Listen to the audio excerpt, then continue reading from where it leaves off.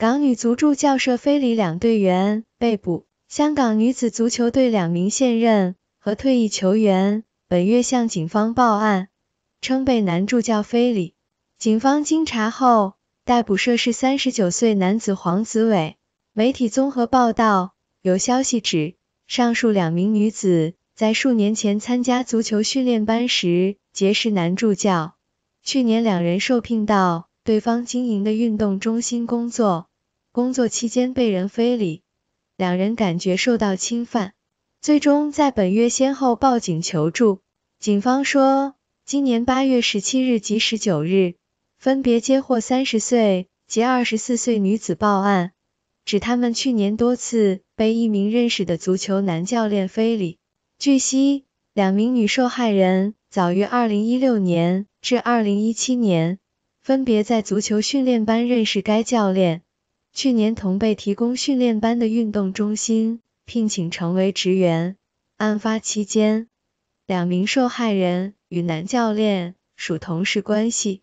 深水埗警区刑事调查队第八队人员经调查后，锁定一名男疑犯，并于本月十九日于深水埗区以涉嫌非礼拘捕一名三十九岁黄姓男子。案件交由深水埗警区重案组第一队跟进。被捕黄姓男子已获准保释候查，需于九月中旬向警方报到。据悉，被捕男子是黄子伟，其运动中心位于深水埗。他曾在不少体育机构任职，致力推动女子及幼儿足球发展，更曾是香港女子足球代表队助理教练。香港足球总会网页显示，二零二零年鼠年贺岁杯赛事。他是香港女子足球队名单教练之一。香港足总网页二十一日仍可看到他与女足成员大合照，到了二十一日晚间已被删除。香港足总回应传媒查询时说，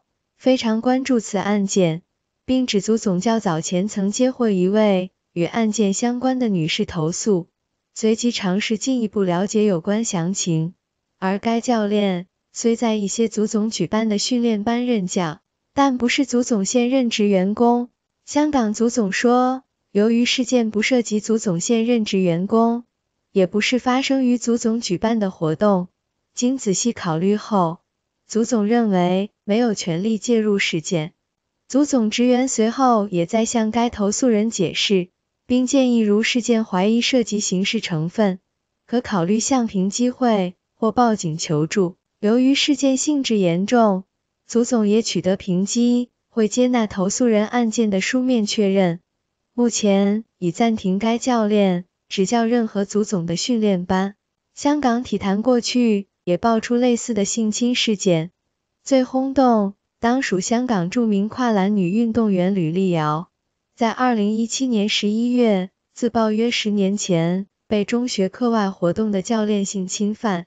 涉事教练其后被捕及被控非礼罪，案件二零一八年五月开审，同年十一月，涉事教练因证人供词有疑点，被裁定罪名不成立，控罪获得撤销。